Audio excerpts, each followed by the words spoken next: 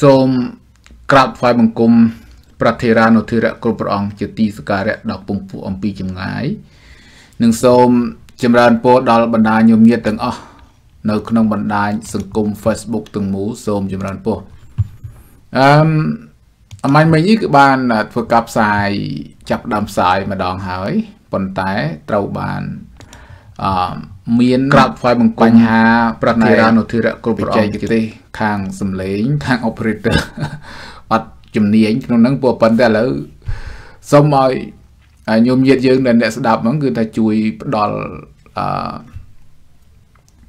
ជួយផ្ដល់ដំណឹងឲ្យផងព្រោះថាតើវាលឺសំឡេងដែលអត់បើសិនជាលឺព្រោះព្រោះអឺមិនមិញនេះវាបានរៀបចំផ្សាយទៅ អឺវាមានបញ្ហាផ្នែកខាងបច្ចេកទេសផ្នែកខាងសំឡេងដោយសារវាលឺចូលគ្រប់ទិសទាំងអស់អញ្ចឹងទៅមិនដឹងថាស្ដាប់យ៉ាងម៉េចម្លោះហើយអឺរងចាំញោមញាតយើងដែលចូលមកដើម្បីនឹងធ្វើការអឺស្ដាប់សិនបងដើម្បីនឹងអឺឲ្យផ្ដល់ជាដំណឹងមកដើម្បីអឺ ធ្វើការកែសម្រួលនៅក្នុងបញ្ហានៃការបច្ចេកទេសអឺពីព្រោះយើងធ្វើការផ្សាយបន្តផ្ទាល់នេះ គឺផ្សាយតាមប្រព័ន្ធ XSplit ណាហើយ XSplit អឺអឺ connect ចូលមកជាមួយនឹងប្រព័ន្ធ Facebook អញ្ចឹងយើងពិបាកនៅក្នុងការធ្វើតេស្តផ្នែកខាងសំឡេងហ្នឹងបង ហើយឥឡូវនេះគឺអត់តាន់មានញោមញាតចូលរួមស្ដាប់ទេដោយសារខូចនៃបញ្ហាបច្ចេកទេសទៅហើយអញ្ចឹងអឺលោកគ្រូស្វាព្រៃលឺលឺលឺច្បាស់ហ៎ជួយឲ្យដំណឹងតិចផងព្រោះអត់អត់អត់អត់សូវលឺហ្នឹងហើយឥឡូវហ្នឹងមិនដឹងថាយ៉ាងម៉េចអត់មានឲ្យដំណឹងព្រោះអញ្ចឹងទៅធ្វើឲ្យ ការផ្សាយនឹងមិនយើងអត់មានអីធ្វើតេស្តព្រោះបើកាលទៅធ្វើតេស្តទៅវាសំឡេងចូល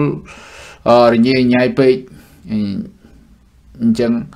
បានថាចង់ដឹងអំពីញោមញាតវិញថាតើវាលឺឬអត់តែប៉ុណ្្នឹងទេបើ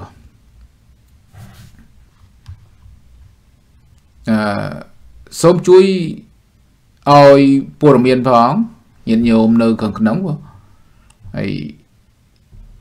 មានតែអ្នកចូលមកដល់ប៉ុន្តែអត់មានអ្នកស្ដាប់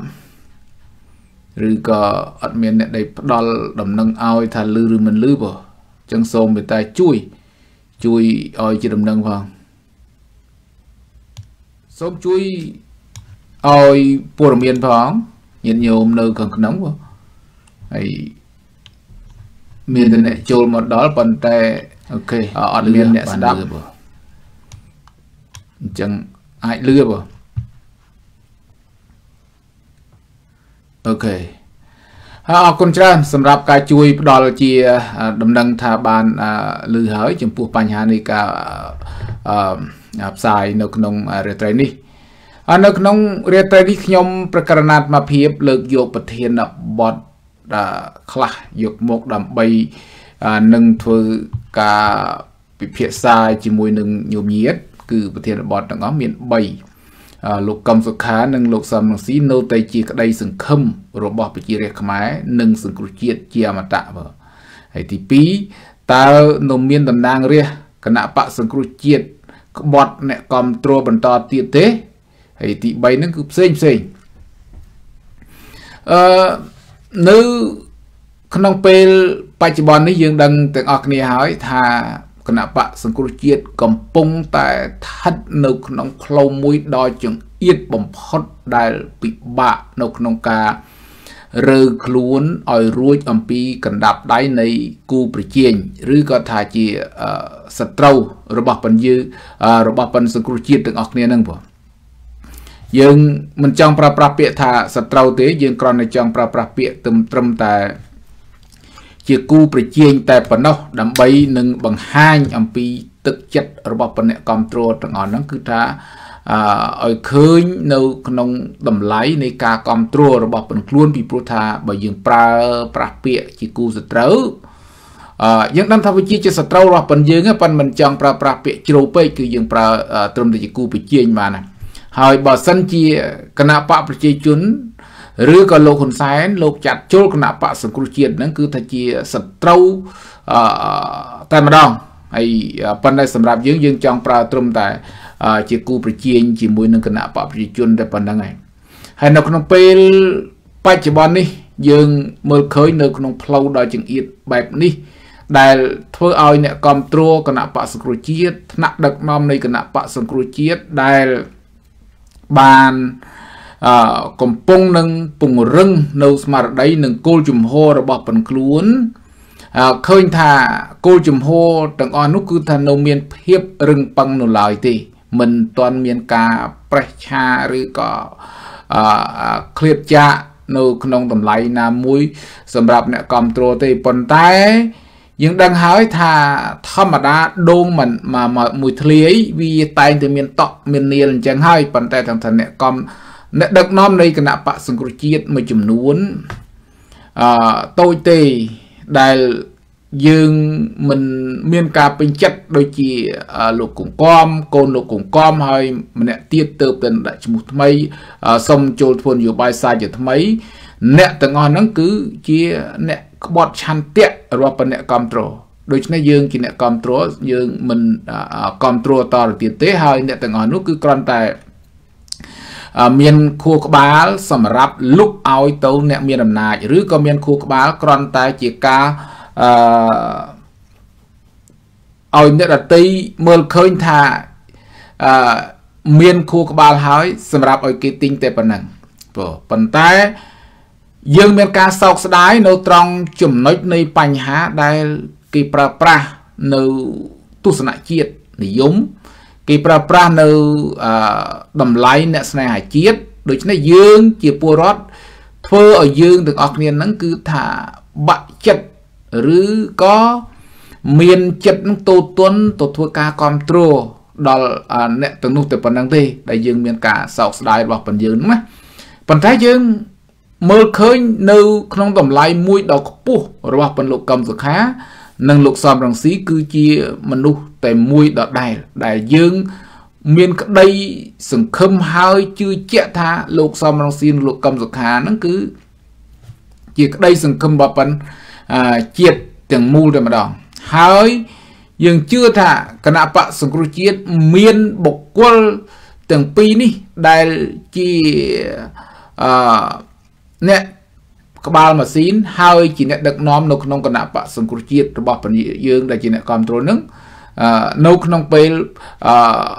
បច្ចុប្បន្ននឹងក្តីនៅក្នុងពេលអនាគតនឹងក្តីយើងជឿថាអ្នកទាំងពីរមិនបែកគ្នាទេអ្នកទាំងពីរនឹងអាចធ្វើឲ្យជាតិរបស់ពន្យើងទទួលនៅក្តីសង្ឃឹមថ្មីត្បិតតែវាមានលឺពាក្យចចាមអារាមចំពោះ អឺអ្នកដែលបានធ្វើការសុំសិទ្ធិធ្វើនយោបាយស្មើនឹងការចោះចូលជាមួយនឹងគណៈបព្វជិជននោះ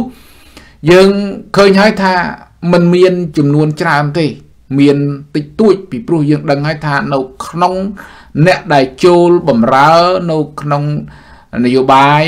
ក្នុងបកនីមួយៗនោះវាមានជាហៅថាកម្លាំងបង្កប់របស់បណ្ឌគណៈបក ដតីទៀតឬក៏ហៅថាជីចារកម្មរបស់ប៉ុនគណៈបកជាជនអញ្ចឹងថាបានណាពីព្រោះយើងដឹងទាំងអស់គ្នាថាអឺកាលណាគណៈបកនយោបាយនីមួយនីមួយនោះគឺតែងតែបង្កប់នៅអឺចារកម្មឬក៏អ្នកដែលយកអឺការពិបៈមួយទៅបៈមួយឲ្យដល់គ្នាទៅវិញទៅមកយើងជឿជាក់ថាមានប៉ុន្តែ ចំពោះគណៈបកសង្គ្រោះជាតិ យើងមើលឃើញថាអ្នកដែលបានក្បត់ឆន្ទៈរបស់ប៉ុនប្រជារាអឺពីមុនមកយើងអត់ចង់និយាយទេដោយថាវាវាមានជាបន្តបន្តដែលហើយប៉ុន្តែថាថា ដំណាក់កាលចុងក្រោយនេះ ក្រោយ អំពីការរំលាយនៃគណៈបកសង្គ្រោះជាតិហើយវាមានក្រុមដែលអឺចូលមកធ្វើការបង្កប់ខ្លួននឹង អឺវាអាចនឹងវិលត្រឡប់ទៅរកគណៈបកប្រជាជនវិញដូចជានៅក្នុងពេលបច្ចុប្បន្ននេះយើងមើលឃើញហើយថាអឺមានអ្នកតំណាងរាសមួយចំនួនតូចទេនៅក្នុងនោះគឺមានលោកគង្គំលោកគង្គំក៏គ្រាន់តែជាទីប្រឹក្សាចំខ្ពស់របស់បញ្គណៈបកតែប៉ុណ្្នឹងទេណាហើយនឹងលោកកូនរបស់ប៉ុនគាត់ជាអ្នកតំណាងរាហើយនៅកូនមួយទៀតដែលជាអ្នកតំណាងរាអឺ ដែលបានធ្វើការចោះចូលនឹងប៉ុន្តែនៅអឺលោកម្នាក់ទៀតដែលជាកូនរបស់ពលលោកគង្គំដែរដែលជាអ្នកតំណាងរាអឺនៅស្វិតស្វាយដោយសារគេបានធ្វើទុកបុកម្នេញដល់រូបរាងកាយរបស់ប៉ុនកត់ប៉ងនឹងធ្វើឃាតប៉ុន្តែអអ្វីដែលជាការជឿចាប់របស់ប៉ុនកត់នោះ យើងមើលឃើញថាគាត់មិនទាន់បាន សម្រេចចិត្តចោះទៅតាមប្អូនឬក៏ឪពុករបស់ប៉ុនខ្លួនអឺទេគាត់ថាគាត់បដិញ្ញា នៅក្រាញជាមួយនឹងគណៈបកសង្គ្រោះជាតិអាហ្នឹងយើងបានលើសេចក្តីបដិញ្ញាហ្នឹងអឺប៉ុន្តែយើងមានសេចក្តីសង្ឃឹមយ៉ាងមុតមមចំពោះអឺអ្នកដឹកនាំទាំងពីររបស់ប៉ុនយើងហ្នឹងគឺលោកសំរងស៊ីនិងលោកកឹមសុខា អញ្ចឹងទោះបីជាក្រមរបស់ប៉ុនគណៈបកសង្គ្រោះជាតិមួយណាក៏ដោយណាបើសិនជាមកកាន់ប្រទេសអូស្ត្រាលីខ្ញុំកណាត់អាភិបអឺជាអ្នកគ្រប់គ្រងគណៈបកសង្គ្រោះជាតិមួយរូបបើសិនជាក្រុមនោះមិនបង្ហាញស្មារតីជាតិនិយមដែលមានសំរងស៊ីនិងកម្មសខាជាមនុស្សទីមួយទេ ខ្ញុំក៏ណាត់អាភិបគឺមិនទទួលដាច់ខាតបងហើយបើអ្នកណាទទួលគឺថាអ្នកឯងទៅធ្វើកន្លែងអ្នកឯងទៅចោះឬក៏ទៅធ្វើកន្លែងណាចោះគឺថាយើងនឹងអឺមិនទទួលចំពោះក្រុមហ្នឹងទេដោយសារដោយសារក្រុមហ្នឹងគឺជាក្រុមដែលអឺស៊ីឈ្នួលឲ្យគណៈបកកណ្ដាលអំណាចឬក៏ជាក្រុមដែលបំបែកឆន្ទៈរបស់ប៉ុនវិជារាអញ្ចឹងយើងមើលឃើញ ទម្រង់នៃបញ្ហាដែលពួកគេធ្វើការរិះគន់ណាពួកគេធ្វើការរិះគន់ទៅលើលោកប្រធានសំរងស៊ីពួកគេបានធ្វើការអះអាងថាពួកគេគឺជាកម្មសខានិយមបើសិនជាកម្មសខានិយមអឺក៏ដោយយើងនឹងមិនធ្វើការស្វាគមន៍ចំពោះក្រុមនឹងទេដោយសារអីដោយសារនៅក្នុងដំណាក់កាលនេះយើងដឹងទាំងអស់គ្នាហើយថា មានតែសំរងស៊ីនិងកម្មសខាទេដែលជាថ្នាក់ដឹកនាំកម្ពុជារបស់ប៉ុនគណៈបកសង្គ្រោះជាតិហើយ គឺជាក្តីសង្ឃឹមរបស់ប៉ុនប្រជារាស្ត្រហើយបើសិនជា លោកសំរងស៊ីនិងលោកកឹមសុខាជាក្តីសង្ឃឹមរបស់ប៉ុនប្រជារាស្ត្រមានក្រុមដែលនៅក្នុងនឹងអះអាងថាខ្លួនជាកឹមសុខានិយម ជាសំរងស៊ីសំរងស៊ីនិយមអាហ្នឹងគឺយើងមិនស្វាគមន៍ទេ យើងស្វាគមន៍ចំពោះតែសំរងស៊ីនិងកឹមសុខាហើយបើទោះបីជាអាមកសុំឲ្យមានការគ្រប់គ្រងយ៉ាងណាក៏ដោយ គឺថាសម្រាប់ទីកន្លែងរបស់បងយើងនេះគឺមិនគ្រប់គ្រងទេបងសុំ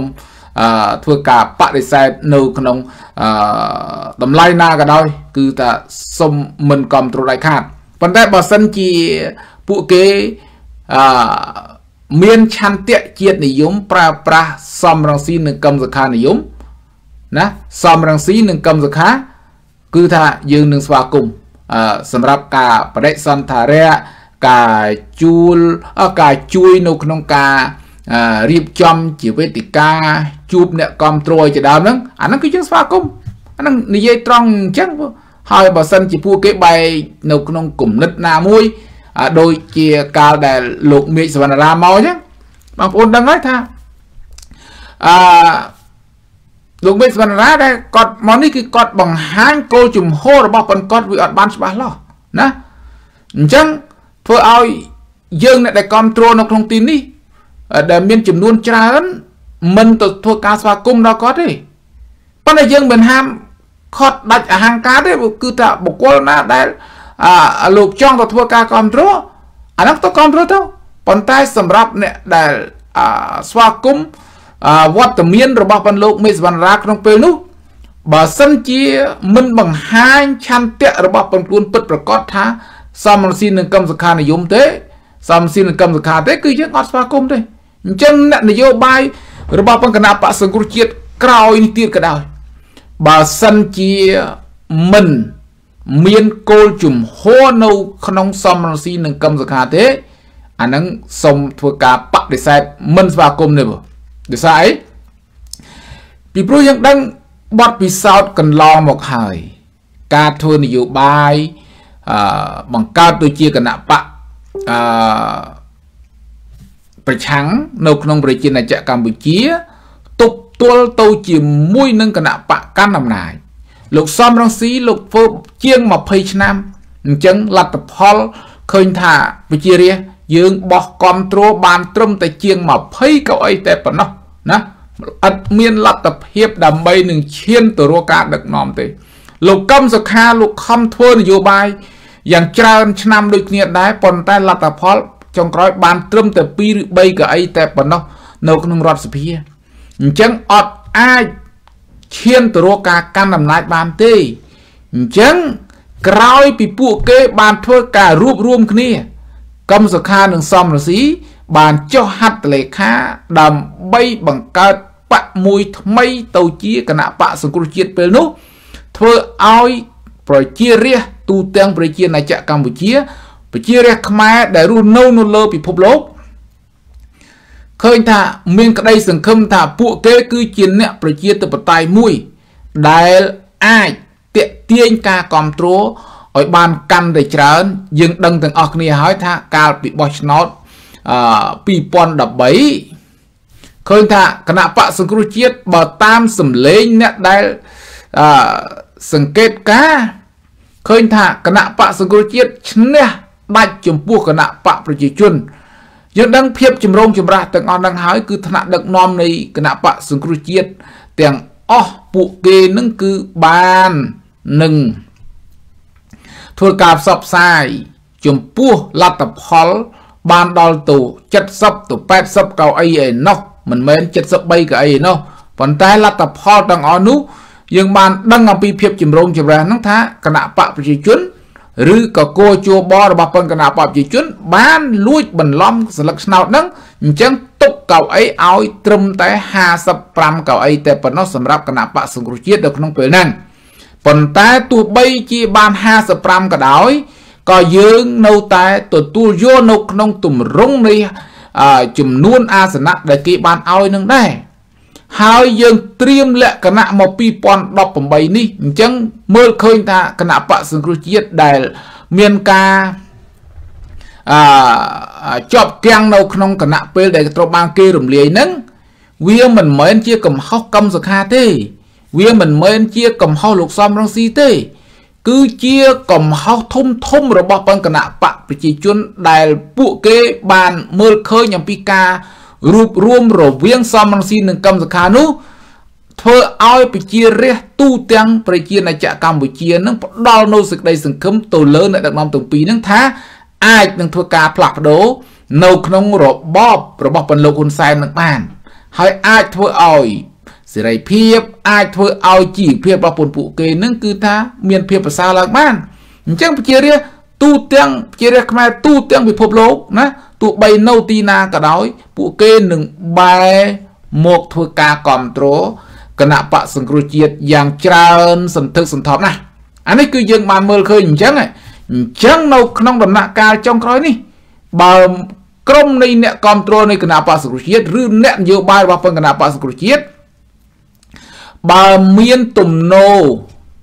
តែកម្មសខាមួយយ៉ាងមួយខាងទេក៏យើងអត់គ្រប់គ្រងដែរ បើមានទំនោរតែសំរងស៊ីមកខាងទេក៏យើងអត់គ្រប់គ្រងដែរតែបើសិនជាសំរងស៊ីនិងកឹមសុខាជាមនុស្សទី1គឺយើងយើងទទួលយកអានេះគឺអ្វីដែលយើងចង់បានពីព្រោះយើងចង់ឃើញឲ្យមានការផ្លាស់ប្ដូរពីព្រោះអ្នកទាំងអស់នឹងដឹងហើយថាស្រុកយើងញាតញោមកំពុងតែអឺដល់ទឹកដល់ច្រមុះហើយចិត្តលិចក្បាលហើយបងប្អូនណានៅបន្តិចទៀតយើងដឹងទាំងអស់គ្នាហើយថាអឺ បើយើងនិយាយអំពីបញ្ហាអឺការរស់នៅនៅក្នុងប្រទេសបញ្ហាសូម្បីតែទឹកផឹកក៏យើងត្រូវការទិញពីប្រទេសជិតខាងដែរណាសូម្បីតែភ្លើង អ្នកដឹកនាំសប្ងៃហ្នឹងក៏គ្មានសមត្ថភាពដើម្បីនឹងផលិតភ្លើងហ្នឹងគឺថាឲ្យគ្រប់ចំនួនដល់ពលរដ្ឋប្រើដែរភ្លើងទិញពីលាវទឹកទិញពីថៃសួរថា ប៉ុណ្ណឹងហើយនឹងនៅតែយើងមើលមិនឃើញអំពីបញ្ហាយ៉ាងម៉េចទៀតអចំពោះបញ្ហាអន្តរប្រវេសណាញាតិញោមដឹងហើយអន្តរប្រវេសមានច្រើនប្រភេទណាប៉ុន្តែអន្តរប្រវេសពីរពួកគឺចិនមួយយួនមួយណាអញ្ចឹង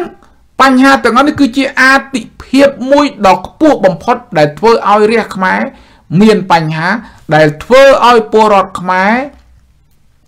រស់នៅមិនបានសុខសบายទេពីព្រោះប្រទេសកម្ពុជាគឺថាជាប្រទេសមួយសម្រាប់ឲ្យតែពលរដ្ឋខ្មែររស់នៅតែប៉ុណ្្នឹងទេដូច្នេះมันអាចផ្ទុកឬក៏អាចដាក់បន្ថែមទៅលើជនជាតិដតីដតីណាមួយទៀតដែលមករស់នៅនៅក្នុងប្រទេសកម្ពុជាបានទេពីព្រោះប្រទេសយើងវាតូចណាស់វាតូចចង្អៀតណាស់ភូមិសាស្ត្រនៃប្រទេសយើងនេះគឺវាតូចមែនទែន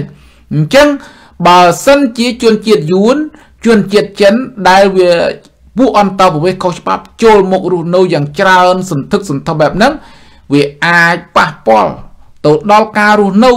សេចក្តីសុខសាន្តរបស់ប៉ុនវិជារាទាំងអស់ហ្នឹងហើយទាំងអស់ហ្នឹងឯងហើយដែលវាជាការព្រួយបារម្ភរបស់ប៉ុនវិជារាខ្មែរហ្នឹងហើយបើគិតអំពីបញ្ហាការបំផ្លាញបរិស្ថានព្រៃឈើការកាប់បំផ្លាញទាំងអស់ហ្នឹងធ្វើឲ្យ ប្រជារាស្ត្រខ្មែរមិនមានការសบายចិត្តទេដោយសារដោយសារថាផលប្រយោជន៍នៃការកាប់បំផ្លាញទាំងអស់នេះវាបានទៅចិនវាបានទៅយួន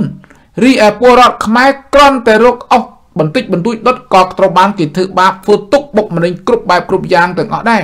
ហើយពួកគេបានទម្លាក់កំហុសទៅលើពលរដ្ឋជាអ្នកកាប់បំផ្លាញទៅវិញនេះគឺជាអំពើមួយអយុត្តិធម៌មកលើប្រជារាស្ត្ររបស់បញ្យើងខ្លាំងណាស់អញ្ចឹង បើយើងមិនរួបរวมគ្នាឲ្យคลายទៅជាសេចក្តីសាមគ្គីជាធ្លុងមួយទេយើងពិតជាទទួលរងគ្រោះហើយស្រុកយើងនឹងអាចធ្លាក់ទៅលើកណាប់ដៃរបស់ជនផ្ដាច់ការអាចធ្លាក់ទៅលើកណាប់ដៃរបស់បញ្ចិនអាចធ្លាក់ទៅលើកណាប់ដៃរបស់បញ្យួនជាមិនខានទេអញ្ចឹងយើងជាពលរដ្ឋខ្មែរនឹងបងប្អូនដឹងហើយថាយើងសាមគ្គីគ្នា ដើម្បីឲ្យមានការផ្លាស់ប្ដូរជីវិតជាមាន ហើយការផ្លាស់ប្ដូររបស់បញ្យើងនឹងគឺថាដោយអហិង្សាតាមយន្តការនៃរបបប្រជាធិបតេយ្យធ្វើយ៉ាងម៉េចដើម្បីនឹងឲ្យមានការបោះឆ្នោតឲ្យមានការផ្លាស់ប្ដូរនៅក្នុងប្រទេសកម្ពុជាយើងឲ្យបាននៅក្នុងពេលខាងមុខហ្នឹងបើយើងរំដោះប្រទេសយើងបើយើងមិនបានសង្គ្រោះប្រទេសយើងឲ្យទាន់ពេលទេបងប្អូនដឹងហើយថាយើងនឹងដល់នៅសេចក្តីវិនិច្ឆ័យហើយ ហើយបើយើងដល់នៅសេចក្តីវិនិច្ឆ័យយើងមានប្រទេសមួយយើងមានជាតិសាសន៍មួយយើងមានវប្បធម៌មួយយើងមានភាសារបស់ប៉ុនយើងមួយដាច់ដライអំពីជនជាតិអតីតសាសអតីតទៅហើយហ្នឹងឯងយើងអត់ចេះថែរបស់បណ្ដូនតាដែលផ្ដល់ឲ្យយើងហ្នឹងណាអ្នកដែលខុសនោះគឺយើង ដែលរស់នៅក្នុងពេលបច្ចុប្បន្នហ្នឹងវាមិនមែនអ្នកដឹកនាំវាមិនមែនជាពលរដ្ឋពីមុនមកហើយវាមិនមែនទុកឲ្យកូនចៅយើងទទួលកំហុសទេគឺយើងទាំងអស់គ្នាហ្នឹងឯង ហេតុម៉េចក៏មិនមើលឃើញនៅក្នុងហានិភ័យទាំងអស់គ្នាហ្នឹងផងអញ្ចឹងទេយើងក្តីសង្ឃឹមរបស់ពលយើងហ្នឹងគឺ មានតែសំរងស៊ីមានតែកម្មសខាដែលជាអ្នកដឹកនាំនៃគណៈបកសង្គ្រោះជាតិធ្វើឲ្យនាវានៃគណៈបកសង្គ្រោះជាតិនឹងបាន មានឱកាសដើម្បីដឹកនាំ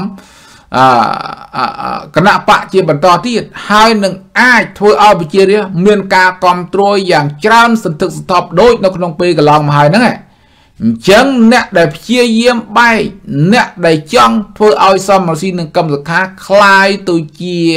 អរិចិត្តនឹងគ្នាហើយឲ្យទៅបែកទៅជាក្រុម2ទៅជាក្រុម3ដូចជាអ្នកដែលមានបំណងបំបែកក្នុងពេលកន្លងមកហើយហ្នឹង វាមិនមែនជាអ្នកដែលស្នេហាជាតិឬក៏ស្រឡាញ់ជាតិពិតប្រាកដទេអាហ្នឹងយើងមើលឃើញបងប្អូនណាញាតិញោមយើងមើលឃើញអញ្ចឹងហើយអស់លោកក៏មើលឃើញអញ្ចឹងដែរប៉ុន្តែហេតុអីក៏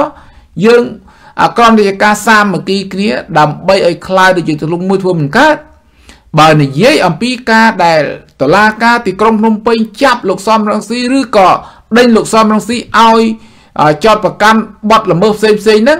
វាមិនមែនជាកំហុសសំរងស៊ីទេ ជាកំហុសរបស់បញ្គណៈបកប្រជាជន ដែលគេបង្កើតព្រឹត្តិការណ៍ឲ្យទម្លាក់កំហុសដើម្បីនឹងឲ្យតឡាការទីក្រុងភ្នំពេញហ្នឹងគឺបានធ្វើការចោតប្រកាន់អំពីបទល្មើសផ្សេងផ្សេងមិនឲ្យលោកសំរងស៊ីនឹងចូលស្រុកអញ្ចឹងយើងអត់ត្រូវការចោតប្រកាន់គ្នាឯងទេហើយការចាប់លោកកម្មសុខាទៀតយើងមើលឃើញទាំងអស់គ្នាថា វាមិនមែនជាកំហុសលោកកម្មសុខាទេណា វាមិនមែនជាកំហុសលោកកម្មសុខាទេពីព្រោះហេតុអីថាអឺទៅចោតលោកកម្មជាកំហុសលោកកម្មសុខាណាអញ្ចឹងលោកកម្មសខាគាត់មិនមានកំហុសអ្វីទៅរសោះកំហុសគឺគណៈបព្វជិជន ជាពិសេសកំហុសលោកហ៊ុនសែនដែលគាត់មានបំណងចង់ចាប់គណៈបកសង្គ្រោះជាតិនឹងឲ្យចង់រំលែកគណៈបកសង្គ្រោះជាតិនិងចង់ចាប់លោកសំកម្មសខានឹងតែប៉ុណ្្នឹងទេអញ្ចឹង វាអត់មានលោកកម្មសខាធ្វើឲ្យលោកសំរងស៊ីរត់ចោលស្រុក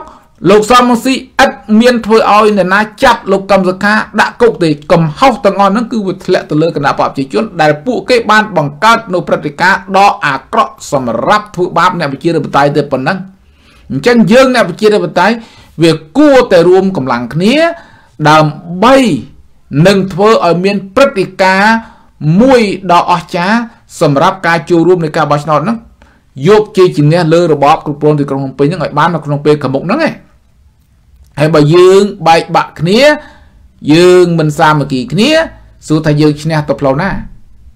ដោយបទពិសោធន៍អាត្មាបានលើកខាងដើមអញ្ចឹងលោកសំរងស៊ីលោកធ្វើគណៈបព្វប្រឆាំងជាង20ឆ្នាំអត់បានឈ្នះលោកហ៊ុនសែនទេហើយលោកកឹមសុខាលោកបានធ្វើគណៈបព្វប្រឆាំង តាំងពីគណៈបកលតាសឿនសានចូលមកហ៊ុនសំពេចណា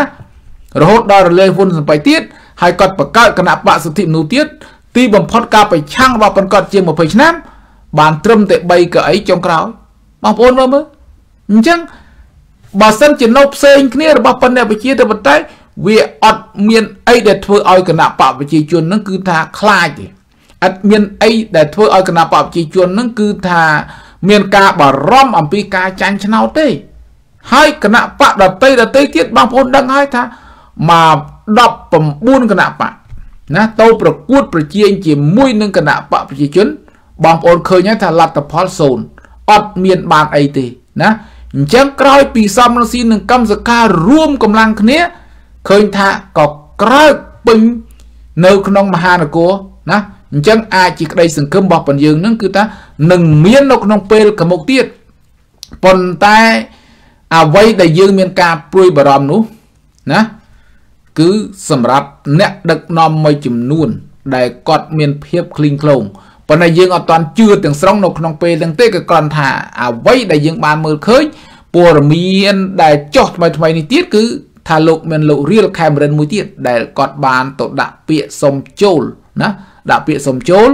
ដើម្បីនឹងធ្វើនយោបាយសារជាថ្មីហើយបើសិនជា លោក Real Cameron ដែលគាត់ដាក់ពាក្យនឹងសុំចូលពិតមែនបងប្អូនណាគឺថាអ្វីដែលអឺគាត់បោកប្រាស់គំនិតរបស់ប៉ុនវិជារាធ្វើឲ្យយើងអ្នកគ្រប់គ្រងនឹងមិនសប្បាយចិត្តទេដូច្នេះគឺថាយើងអឺអ្នកគ្រប់គ្រងមិនអាចទុកមនុស្សបែបហ្នឹងឬក៏អ្វីដែលអឺពួកគេបោកប្រាស់គំនិតរបស់ប៉ុនវិរៈឲ្យបោះឆ្នោតឲ្យខ្លួនដែរយើងអត់ចង់បានអញ្ចឹងទេពីព្រោះយើងចង់បាន ភាពស្មោះត្រង់អ្វីដែលពួកគេបាននិយាយហ្នឹងជាលក្ខណៈស្នេហាជាតិឲ្យពិតប្រកបជាស្នេហាជាតិរីឯប្រាក់ខែប្រាក់ថ្ងៃយើងដឹងទាំងអស់គ្នាហើយថាអឺយើងអ្នកដែលគ្រប់គ្រងអត់មានបានអីទេដោយអាត្មាវត្តអត់មានបានអីទេបងគឺមានតែអស់ថវិកាផ្ទាល់ខ្លួន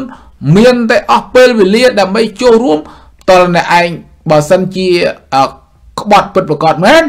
អាហ្នឹងគឺយើងនាំមានបន្តិចផ្ដាសាហើយបងនាំនេះជេរមកបងជេរអាពួកហ្នឹងដោយសារដោយសារអឺវាក្បត់ឆន្ទៈយើងណាវាវាដូចថាបើវាឲ្យយើងគ្រប់គ្រងណាដូចជាគង្គកំដូចជាកូនគង្គកំហើយម្នាក់ទៀតដែលជួយបានដាក់ពាក្យស្នើសុំចូលធ្វើនយោបាយមកពីខេត្តណាកំពង់ធំកំពង់ចាមឯណាហ្នឹងពួកហ្នឹងវាសិតពួកក្បត់តែពួកខួរក្បាលប្រកងពួកអាងតែឯងមានលុយមានកាក់អាងតែឯង អានេះគឺថាវាអត់យើងអត់ទទួលព្រោះលោកអីស៊ីមអឺលោកសឹមសវណ្ណីហៅសឹមវណ្ណីហើយរួមជាមួយនឹងលោកគង្គកំអតីតទីប្រឹក្សាជាន់ពោះទី2លោកគង់បូរ៉ាអតីតអ្នកតំណាងរាស្ត្រនិងទី3លោកស៊ីមសវណ្ណីប៉ុន្តែលោករៀលខេមរិននឹងទំតែយើងឮថ្មីថ្មីនឹងទេប៉ុន្តែអត់តន់បានឃើញអឺ ការឡាយប្រហោះទលេខារបស់ព្រះមហាក្សត្រលើកលាយនៃការចោតប្រកាន់ដើម្បីឲ្យបានមានសិទ្ធិចូលធ្វើនយោបាយវិញទេប៉ុន្តែគាត់ថាអឺក្រសួងមហាផ្ទៃពីមុនមកបានលើកថាចំប្រហែលជា30 40នាក់ដែរដែលបំរុងនឹងដាក់ចូលណានៅក្នុងនោះគឺមានលោកអ៊ូច័ន្ទរិទ្ធអ៊ូច័ន្ទរតអីជាដើមណាប៉ុន្តែលោកអ៊ូច័ន្ទរិទ្ធលោកអ៊ូច័ន្ទរតហ្នឹងក៏លោកបានធ្វើបកការបដិសេធចោលទៅហើយមិនបានទៅចោះចូលមិនបានទៅសុំដាក់ពាក្យស្នើសុំចោះចូលទេ អញ្ចឹងនៅលោករៀលខេមរិនមួយទៀតដែលគាត់អត់តន់បានអឺឃើញនៅឡើយទេប៉ុន្តែគាត់ថាក្រសួងមហាផ្ទៃគេបានលើកឡើងប៉ុន្តែក្រសួងមហាផ្ទៃហ្នឹងគេបានថានៅប្រហែលជា20នាក់ទៀតណានៅប្រហែលជា20នាក់ទៀតក៏មុនមាន40នាក់ឥឡូវគេថានៅប្រហែលជា20នាក់ទៀតប៉ុន្តែឥឡូវយើងអត់តាន់ឃើញអញ្ចឹងអត់តាន់ជេរលោក Real Cameron កើតទេព្រោះ Real Cameron យើងដឹងហើយថា អឺវាអាចដែរវាអាចតែមនុស្សវាក្លិកក្លុកមនុស្សភ្នែកមន់ព្រៃឬក៏ហៅមនុស្សភ្នែកចលៀងបងប្អូនអាចទុកចិត្តបានទេប៉ុន្តែគាត់ថាឥឡូវយើងមិននិយាយវាតម្លៃអាក្រក់អំពីបុគ្គលិកលក្ខណៈរបស់ប៉ុនបុគ្គលទេប៉ុន្តែគាត់ថា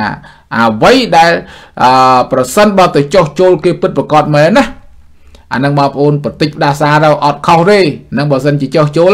ប៉ុន្តែអ្នកគ្រប់គ្រងយើងគ្រប់គ្រងទាំងអស់មិនមែនដាក់សម្ពាធទេណាមិនដាក់សម្ពាធទេណា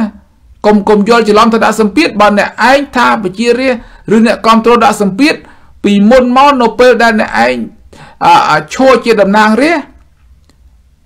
មិនក៏មិនណែអ្នកឯងថាដាក់សម្ពាធឲ្យរាបោះឆ្នោតដូចអ្នកឯងផងអញ្ចឹងអ្នកឯងបានប្រើប្រាស់ពាក្យប្រជាធិបតេយ្យអ្នកឯងបានប្រើប្រាស់អំពីការនាំសេរីភាពជូនដល់ប្រជារាស្ត្រអ្នកឯងអាចនាំពាក្យនៅការដែលឲ្យមានការផ្លាស់ប្ដូរនៅក្នុង របបនយោបាយជួយសង្គ្រោះស្រុកទេសអីជាដើមហ្នឹងពាក្យពេចទាំងអស់ហ្នឹងហើយដែលធ្វើឲ្យយើងអ្នកគ្រប់គ្រងហ្នឹងគឺថាអឺគ្រប់គ្រងបោះឆ្នោតឲ្យអ្នកឯងហើយឥឡូវដល់អ្នកឯងគ្រាន់តែវាមានព្រឹត្តិការណ៍នៃការកើតចម្លែកនៃការរំលាយគណៈបកសង្គ្រោះជាតិរបស់ពលលោកហ៊ុនសែននឹងវាមិនមែនជាកំហុសនៃគណៈបកសង្គ្រោះជាតិអីណាណាវាជាកំហុសរបស់គណៈបកប្រជាជនដែលគេខ្លាចដែលគេបារម្ភអំពីការចាញ់ឆ្នោតហ្នឹងអញ្ចឹង បើសិនជាអ្នកឯងក្បត់ឆន្ទៈនៃអ្នកគ្រប់គ្រងយើងអ្នកគ្រប់គ្រងអត់មានអីទេព្រោះយើងមានការសោកស្ដាយមានតែជេរមានតែបន្តិចមានផ្ដាសាឯងទៅទៅណាប៉ុន្តែអ្នកឯងទៅឈប់បកណាទៀតបើអ្នកឯងនៅក្នុងបកគណៈបកសង្គ្រោះគណៈបកសង្គ្រោះជាតិទៅធ្វើនយោបាយគណៈបកសង្គ្រោះជាតិធ្វើនយោបាយជាមួយអ្នកណាណាបើគណៈបកសង្គ្រោះជាតិគេរំលាយហើយគេអត់តាមផ្ដល់នីតិសម្បទាឲ្យវិញផងហ្នឹងអញ្ចឹងមានអ្នកឯង ដាក់ពាក្យសុំសិទ្ធិធ្វើនយោបាយមានតែទៅចោះចូលជាមួយគណៈបកប្រជាជន មានតែទៅធ្វើនយោបាយទៅចោះចូលជាមួយនឹងគណៈបកផ្សេងតែប៉ុណ្្នឹងទេប៉ុន្តែបើអ្នកឯងទៅចូលជាមួយនឹងគណៈបកផ្សេងសួរថាសង្ឃឹមឲ្យមានការផ្លាស់ប្ដូរទេសង្ឃឹមថាឈ្នះទេ យើងដឹងហើយថាគណៈបកហ្វុនស៊ិនប៉ៃមន្ត្រីគណៈបកហ្វុនស៊ិនប៉ៃមន្ត្រីគណៈបកអឺលោកតាសឿនសាន ដែលជាអ្នកក្បត់មេបករបស់ពងខ្លួនក្បត់បកឲ្យបានទៅចូលជាមួយនឹងគណៈបកប្រជាជនឥឡូវសួរថាតំណែងរបស់ប៉ុនពួកគេបានអីណា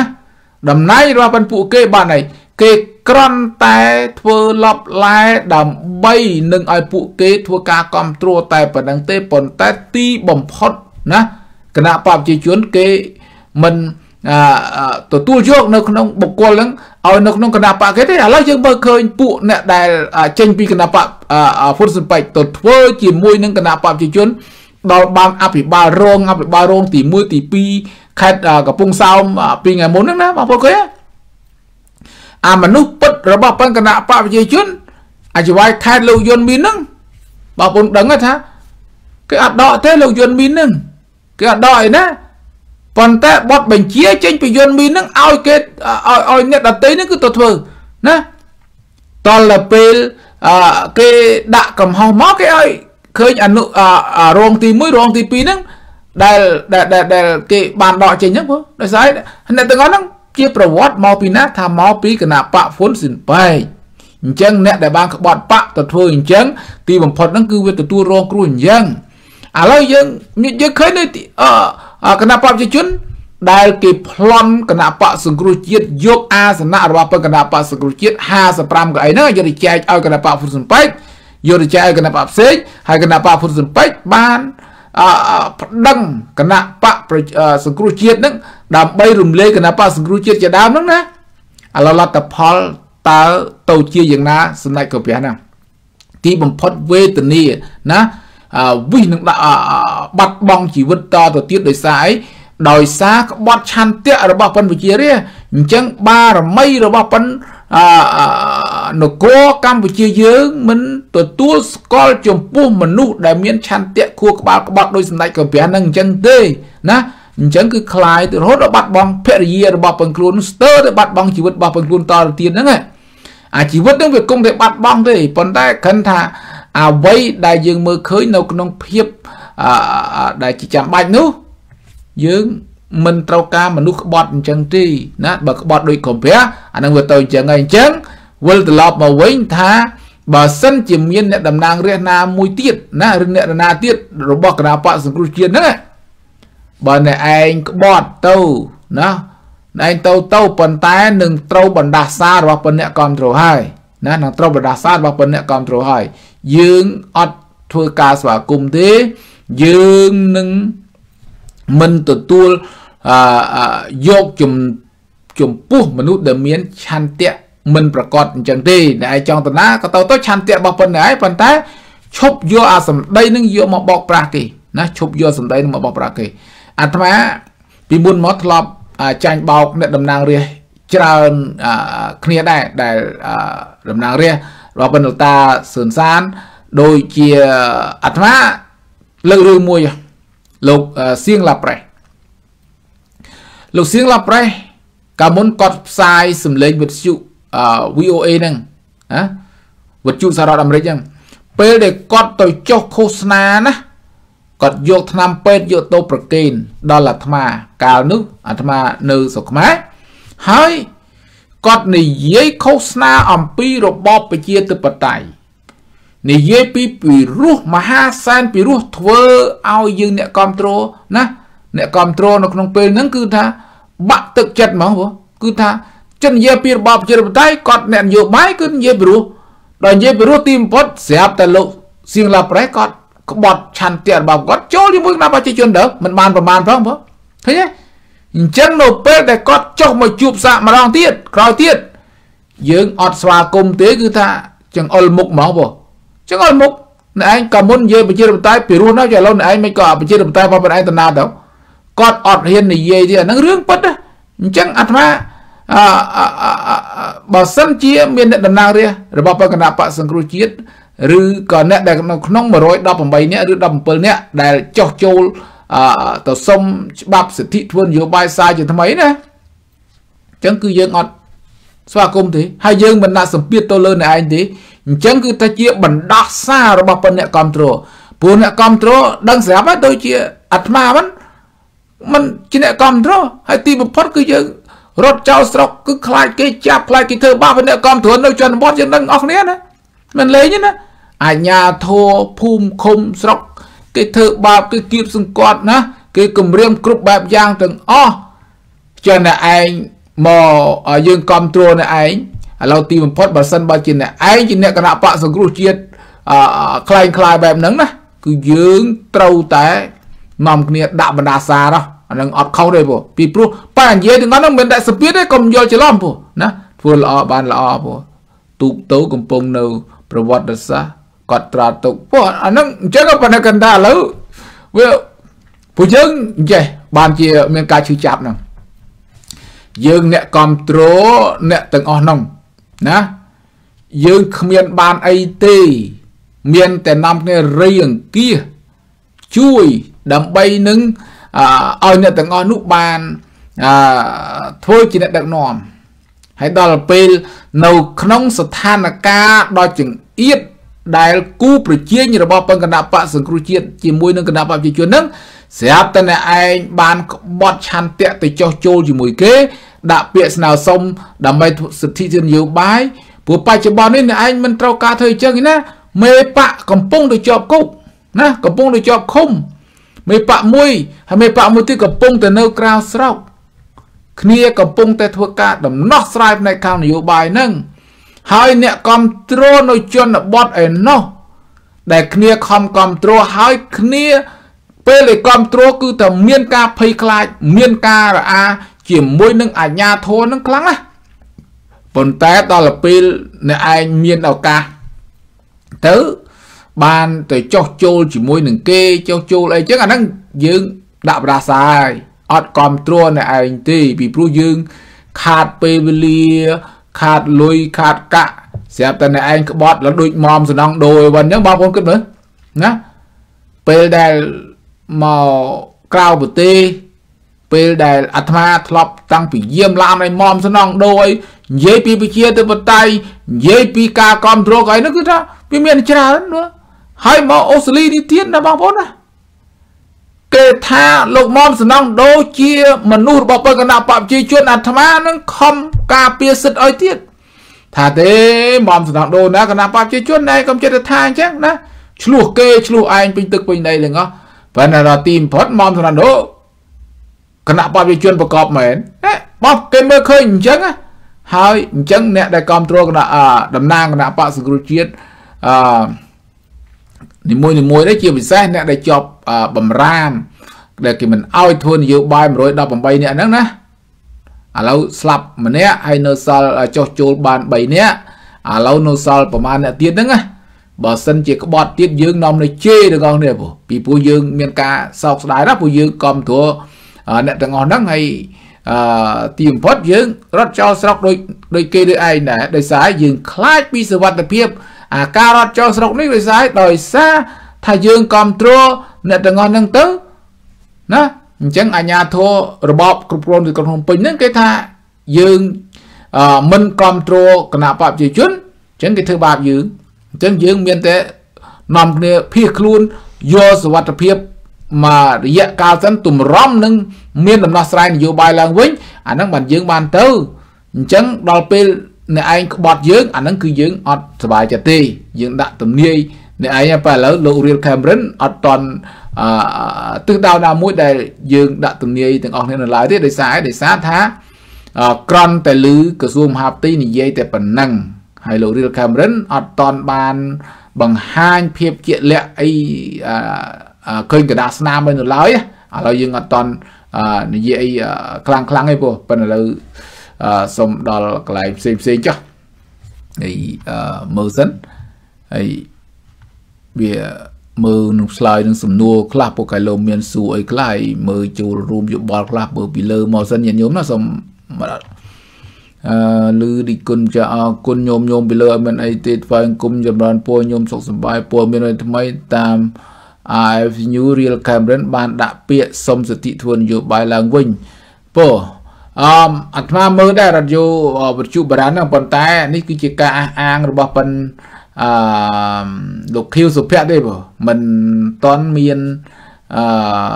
ការអះអាងពីប្រភពណាផ្សេងក្រៅអំពីក្រសួងមហាផ្ទៃនឹងនៅឡើយទេអញ្ចឹងគ្រាន់តែការអះអាងតែមួយខាងណានឹងសូមចម្រើនពរហើយព្រមមើលទៅទៅគឺគេដាក់ថាអញ្ចឹងដែរដូចគ្នា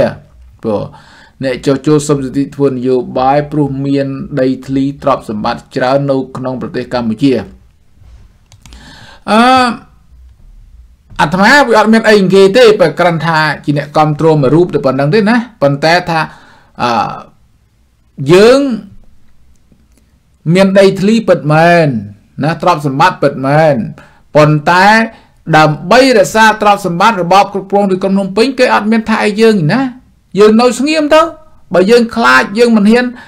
ធ្វើសកម្មភាពអីផ្សេងផ្សេងយើងរក្សាភាពស្ងប់ស្ងៀមទៅមានអ្នកណាមកយកដីយើងមានអ្នកណាមកយកផ្ទះយើងអត់គេធ្វើអីទេលើកលែងតែយើងធ្វើសកម្មភាព រំលោភលើ គេហៅថាបំរាមរបស់បណ្ដាធัวទីក្រុងភ្នំពេញហ្នឹងបានគេរឹបអូសយកដីធ្លីឬក៏យកទ្រព្យសម្បត្តិយើងយើងក៏ធ្វើអីនៅស្ងៀមទៅណា